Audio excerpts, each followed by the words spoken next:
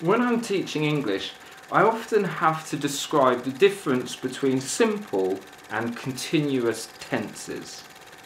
And the best way I've found to describe that difference is between photographs or frames and films. If you look at the old style of film, like you can see here, it's very easy to see that when you have a film, there is moving action, something is happening. And a frame is just one photograph from that film, it's just one image which isn't moving. And I think that continuous verbs are like films, they're moving, something is happening. So when somebody tells me something using a continuous verb, I can see a video in my mind. But when someone tells me about something using a simple tense, I see a photograph, I see a picture, I see a frame. Modern cameras usually have a setting called FPS, frames per second. This is how many photos, how many images they need every second to make a film. So, for example, if I describe something using the past simple, or if I describe my day using the past simple, then it's like a series of photographs. So, I woke up, I got up, I brushed my teeth, I had a coffee, I had breakfast, I left for school, I taught, I came home. These are like simple photographs that happen in a series.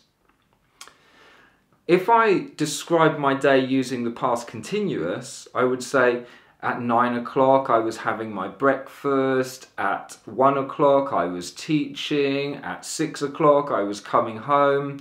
This is like a series of longer events. So the past simple and the past continuous together, we use them to say what happened when something was happening. What happened like a photograph, when something was happening. So, something was happening when something happened.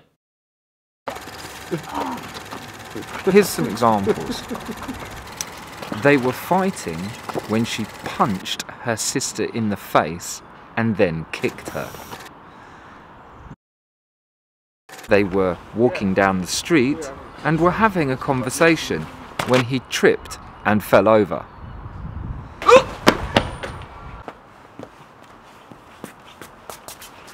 The teacher's daughter was leaving the house when she remembered she needed her keys.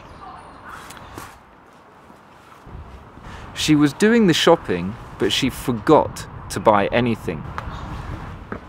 The young lady was walking down the stairs when she checked her watch and saw she was late. She was coming home from the supermarket when she realised she'd forgotten the shopping.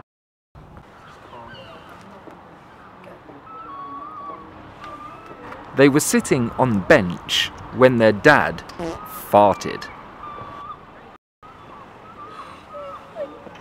The baby was playing with a plastic pot when she dropped it on the floor. So let's review the main events. She punched her sister. He tripped and fell over. She remembered she needed her keys. She forgot to buy anything. She checked her watch and saw she was late. She realised she had forgotten the shopping. Their dad farted.